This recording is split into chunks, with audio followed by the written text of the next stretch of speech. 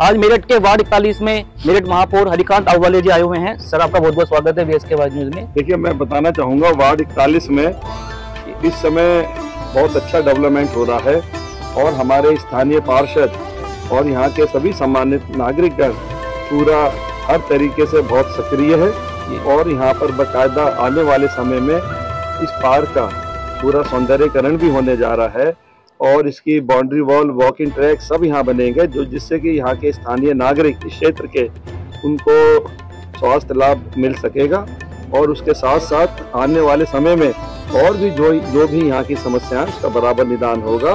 और मैं समझता हूँ कि अभी दो दो महीने बाद जब तक ये पूरा काम लगभग कंप्लीट हो जाएगा तो त्यौहार के मौके पे ये क्षेत्र एक बहुत अच्छा दिखाई देगा। और सबके मनों में एक अच्छा महसूस होगा कि जहाँ पर हम रहते हैं वो स्थान हमारा बड़ा अच्छा खूबसूरत है और कायदे का है। कल पार्षदपति जी जो हैं धंधा प्रदर्शन के लिए कह रहे थे अपना तो क्या? कल सतीश प्रदर्शन जी जो हमारे पार्षदपति जी हैं आपके वार्ड इकतालीस के तो कल नगर निगम से इनको शिकायत थी कुछ बिल टैक्स वगैरह को लेकर तो उसमें समाधान क्या करा गया? नगर निगम से जो भी शिकायत है पार्षद हमारे पहले जन प्रतिनिधि हैं इनका पूरा अधिकार है अपनी जनता के लिए जनता की जो भी समस्या है उसके लिए संघर्ष करना। ऐसी मैं भी पूरे महानगर में हर जगह मेरा भ्रमण रहता है और हमने अपने, अपने पार्षदों से बिल्कुल स्पष्ट कहा हुआ है कि आप अपने वार्ड में संघर्ष करें। अगर कोई अधिकारी आपके बात नहीं सुनता तो पहले आप हमें बताएँ। हम उससे बात करेंगे और अगर वो उसके बाद भी नहीं सुनते तो उसमें अधिकारियों का घेराव भी किया जा सकता है कुछ भी है क्योंकि हमें पब्लिक को रिज़ल्ट देना है। अभी जो है इस मौसम में डेंगू मलेरिया बढ़ रहा है हाँ। पूरे मेरठ में तो देखिए इसके लिए स्वास्थ्य अधिकारी को पूरे निर्देश दे दिए गए हैं। बहुत जल्द आपको दिखाई देगा।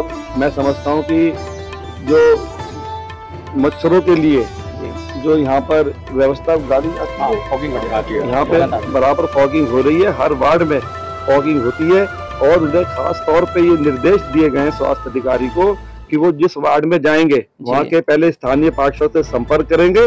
पार्षद की देखरेख में पूरी क्षेत्र में फॉगिंग होगी क्योंकि अगर पार्षद की देखरेख में होगी तो कोई भी गली मोहल्ला उस क्षेत्र का नहीं बचेगा और इसलिए पार्षदों को इसकी ज़िम्मेदारी दी गई है। मतलब मेरठ के सभी वार्ड में फॉगिंग जो है पूरे नब्बे जाएगी। में फॉगिंग होगी और जो नालियों में जो दवाइयाँ पड़ती हैं उन सबकी व्यवस्था की जा रही है जिससे कि आने वाले समय में डेंगू से लोगों को राहत मिल सके। जी बहुत बहुत धन्यवाद। Bharatiya Janata party! Bharatiya Janata party! Meerut ward इकतालीस नगलातासी बी पॉकेट सैनिक बिहार में सड़क निर्माण के उद्घाटन के मौके पर मेरठ महापौर हरिकांत अव्वलिया जी ने नारियल फोड़कर किया सड़क का उद्घाटन।